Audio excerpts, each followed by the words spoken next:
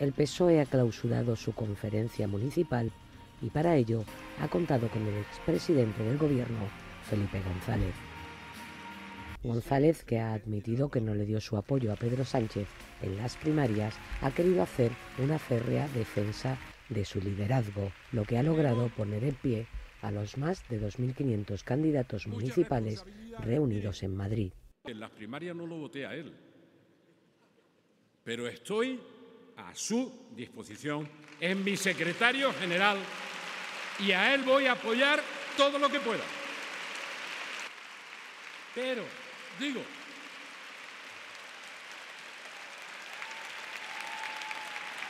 Momentos antes, el cabeza de lista a la Comunidad de Madrid, Ángel Gabilondo, se ha comprometido, si gobierna, a buscar soluciones justas para todos, pero eso sí, no a cualquier precio ni con cualquier víctima.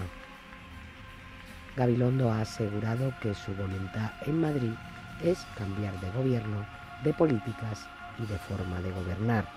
No nos gusta lo que sucede y por eso deseamos cambiar Madrid, para que sea abierta, para que sea plural, para que sea culta y sobre todo para que tenga una economía y una visión social más justas.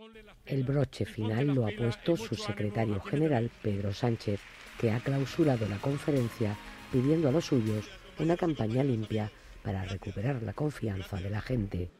Que hagamos una campaña positiva, constructiva, austera, cercana, comprometida socialmente, sin insultos y con propuestas, porque como bien dice Ángel, nuestros enemigos es la desigualdad, el paro, la pobreza y el miedo a un futuro peor. Así que hagamos una campaña limpia, en positivo, dando soluciones y dejando a otros los insultos. La precampaña socialista a las elecciones de mayo se ha iniciado bajo el lema Gobernar para la mayoría, al que acompaña un vídeo realizado por el cineasta Santiago Zanú, en el que los socialistas se reivindican como defensores de los derechos conquistados en España durante los últimos 40 años. Fue quien luchó por los derechos de las mujeres, consiguió impulsar las libertades de los ciudadanos